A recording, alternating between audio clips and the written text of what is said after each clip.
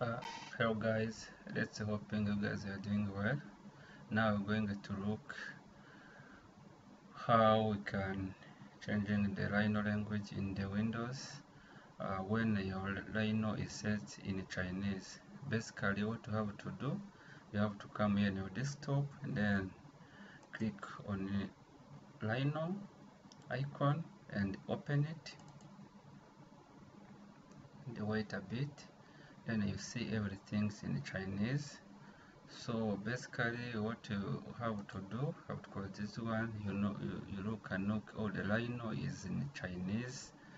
Uh, if you are not know the Chinese nothing you can do. So what you have to do to change the language you have to come here and then click on the last one.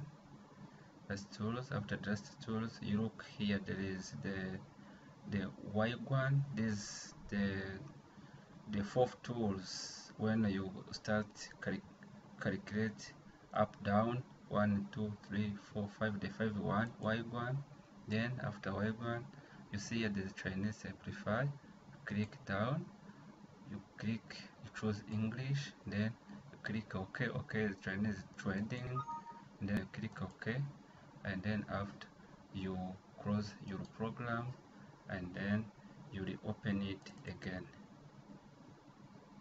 now you see your program is now is in english you can work. Okay you guys thank you for watching. If you are enjoy for this tutorial you can like and subscribe. Ciao ciao bye bye